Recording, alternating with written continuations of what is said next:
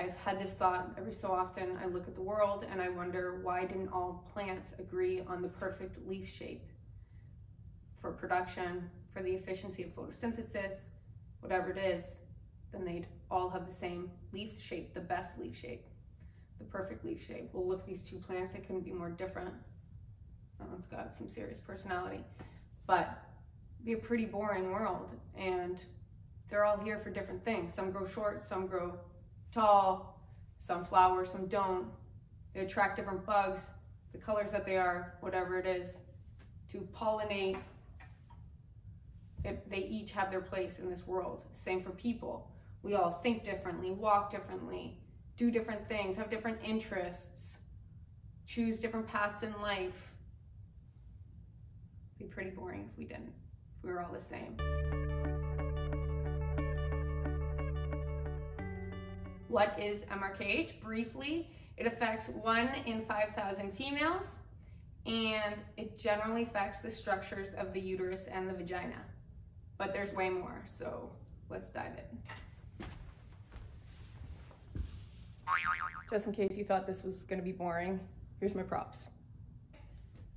I'd like to thank our sponsor here. I'm kidding, we have no sponsors. We did not get sponsored by Kidney Bean company. An eight week old embryo is the size of a kidney bean. This is when this development happens till the time it is a size of a red pepper. Okay, so from here to here, this is when this development is occurring.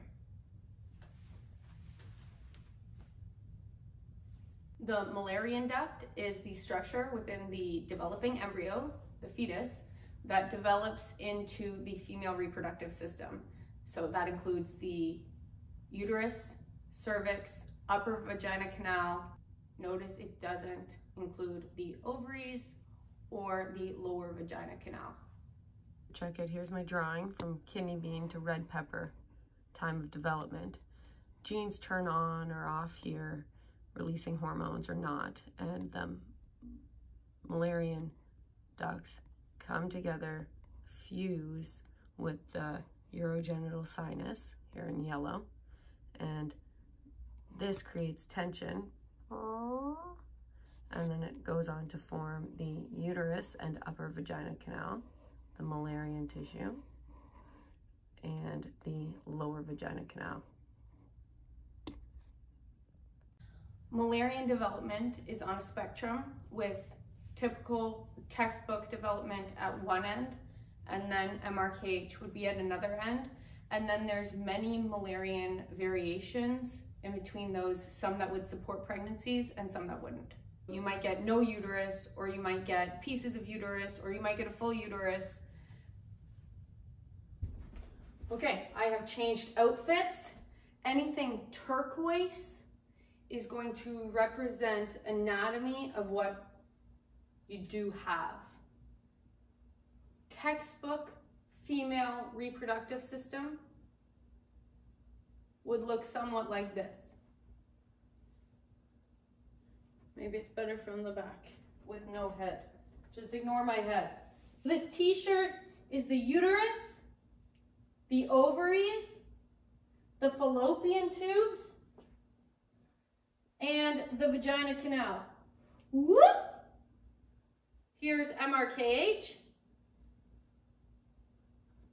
Ovaries, fallopian tubes. Ovaries can be high up in the abdomen or low. Whoop. And a little bit of vagina opening at the bottom. Remember, the lower vagina is not part of the Mullerian duct and therefore develops with MRKH. Turquoise is what develops. So a little bit of vagina, we're still MRKH, and then there can be some fragments of uterus, still got the ovaries, and yet they might have uterine horns on them, so some uterus develops. So, so here's my attempt at drawing variations of MRKH. Ovaries, fallopian tubes, little dimple of vagina, as seen earlier. This just never happened, never fused, never formed the lower vagina and uterus. So urogenital sinus stayed dimple.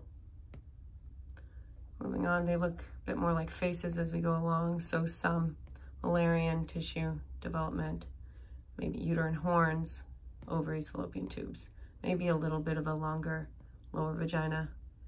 This I just generally wanted to look like a happy face, so uterine remnant. For another example of developmental anomalies and what's developing at that same time, the kidneys are generally most often up here. Boop. Okay, for instance, with my version of MRKH, I got uh, one kidney, I don't know what shape it is, but it's not that, and it's down here. Works perfectly fine. It's just a little different. They have to go looking for it. Okay, so to finalize, to put everything on the outside, my MRKH, I got just the half centimeter of, or a third of an inch, quarter of an inch of vagina, and then no uterus, and then one pelvic kidney. If we walked around, we could tell what's going on on the inside of people. This is what I would look like. We don't actually understand the genetic component with MRKH because MRKH can be that spectrum of little piece of uterus, no uterus, different lengths of vagina, one kidney, a pelvic kidney, a kidney up here, all these differences show that there's different genes involved. It's not just one simple, oh, that's the answer. That's why this, boom, boom.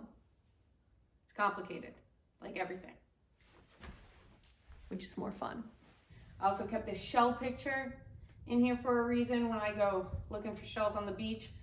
I generally don't pick up the ones that I go, oh, wow, this shell looks like every other shell I've ever seen. Wow. I generally look for the unique ones, the different ones, the ones that catch my eye.